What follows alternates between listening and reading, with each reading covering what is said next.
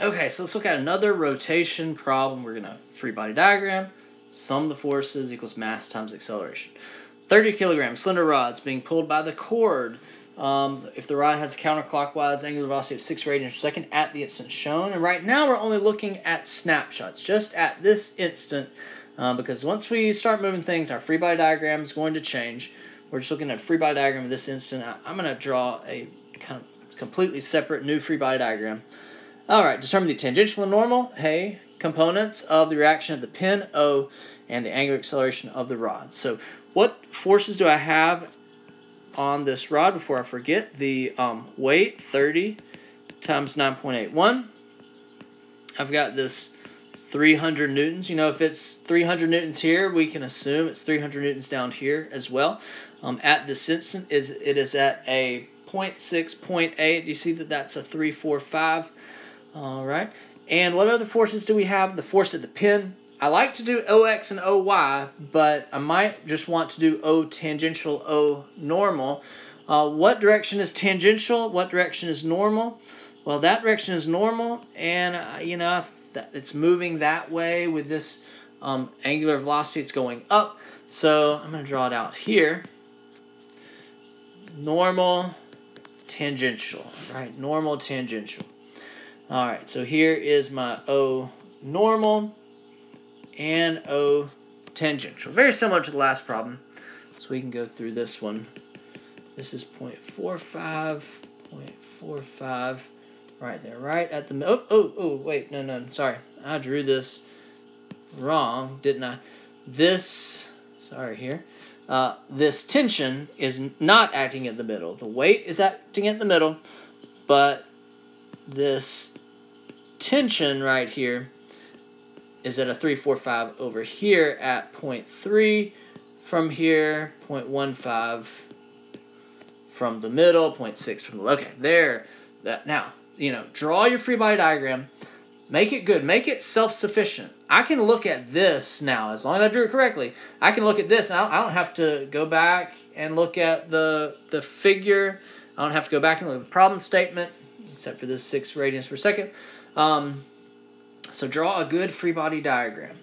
All right, now let us sum the forces in the normal direction. Normal is to the left. O normal. And then uh, the, what, uh, 3 fifths component of T equals, no, no, not, not equals 0, equals mass times A normal. What is A normal? A normal is R omega squared what is r omega squared? r is the distance that point G is from the center of rotation. In this case, 0.45 is r. And then omega squared right there. All right. I do know this tension was 300, so I could plug in 300. Okay, only one unknown. I can solve O normal 306 newtons. Alright, so that's one answer. Summing the forces, summing the forces tangential. Summing the forces in the up direction, right? O tangential. The four-fifths component of the tension of 300 minus the weight equals M A normal. What is A normal? A normal is R alpha. Okay, that one has two unknowns. All right, here, let me sum the moments, okay? And before I get too far, what direction did I just define that one? I, I said that leads to tangential acceleration, tangential up. I just said that that alpha is counterclockwise. So let's sum my moments counterclockwise. All right, I can sum the moments about G, or I can sum the moments about O. I'm going to sum moments about O uh, because that equation is given to us. In the back of the book, one third ml squared.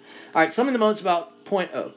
ON goes straight through it, OT goes straight through it. The weight, 30 times 9.81, has a moment arm, 0.45, creating a negative moment. Now, this tension, uh, the 3 fifths component would go straight through it, but the 4 fifths component of 300 would have a moment arm of 0.6. uh, and that would be positive. That would lead to a counterclockwise moment. All right, that's it. That that's the only thing that creates a moment, and so this equals I alpha. I about point O is one third M L squared alpha.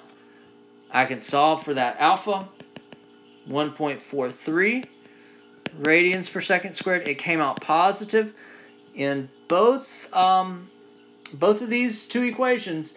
My alpha was counterclockwise.